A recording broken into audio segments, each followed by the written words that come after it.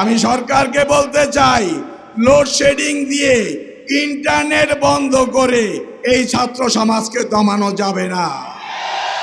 আজকে একটা বিষয় প্রমাণিত হয়েছে যে ছাত্র যুবক যখন এক হয়, এই দেশে বাতিলের আস্তানা থাকতে পারে না।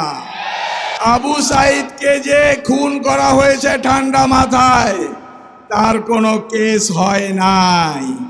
বরঞ্চ পুলিশের উপরে আক্রমণের কেস হয়েছে। যেই প্রশাসন, যেই বিচার ব্যবস্থা আবু সাইদের বিচার করতে পারে না, তারা নাগরিক অধিকার দেওয়ারও ক্ষমতা রাখে না। আমি বলতে চাই, আজকে আওয়ামী লীগের, ছাত্রলীগের গুন্ডা বাহিনীরা আজকের পত্রিকাও এসছে, হাতে পিস্তল নিয়ে শটগান নিয়ে তারা আক্রমণ করেছে। ওই ছাত্রলীগের বিরুদ্ধে তো একটাও মামলা হয় নাই। আপনাদেরকে আজকে শিক্ষা নিতে হবে। আবু সাইদের ভূমিকায় আপনাদেরকে থাকতে হবে। আবু সাইদ পুলিশের গুলিকে পরোয়া করে নাই। আমরা অনেকেই ভাষা আন্দোলন দেখি নাই, সালাম বরকতকে দেখি নাই, কিন্তু নব্য আন্দোলনের আবু সাইদকে দেখেছি। আজকের এই যুব সমাজ যদি আবু সাইদের ভূমিকা পালন করে তাহলে এই ফেরাউনি তক্ত তাও বেশি সময় ভাঙতে লাগবে না। আমি বর্তমান সরকারকে বলতে চাই, আপনারা প্রায় বক্তৃতায় বলে থাকেন, সাম্প্রদায়িক দাঙ্গার কথা, সাম্প্রদায়, সাম্প্রদায়িকতার বিরুদ্ধে বলে থাকেন। আমি বলব, প্রধানমন্ত্রী নিজেই সাম্প্রদায়িকতা ছড়াচ্ছে। আমরা সবাই বাংলাদেশের নাগরিক।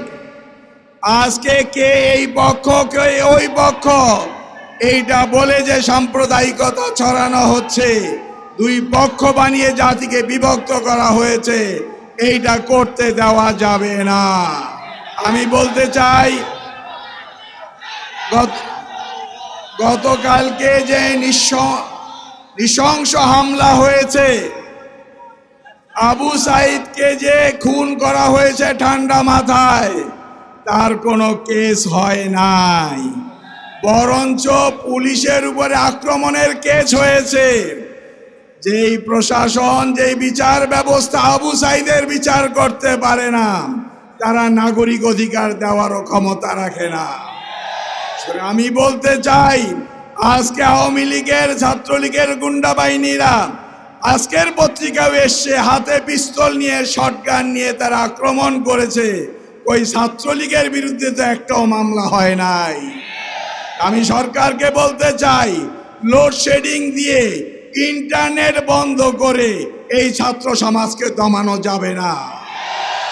আজকে একটা বিষয় প্রমাণিত হয়েছে যে ছাত্র যুবক যখন এক হয়, এই দেশে বাতিলের আস্তানা থাকতে পারে না। সুতরাং সবাইকে উদার্ত আহ্বান জানিয়ে এই সংগ্রামকে বেগবান করার আহ্বান জানিয়ে আমি আমার বক্তব্য শেষ করছি। ওয়ামা তৌফিক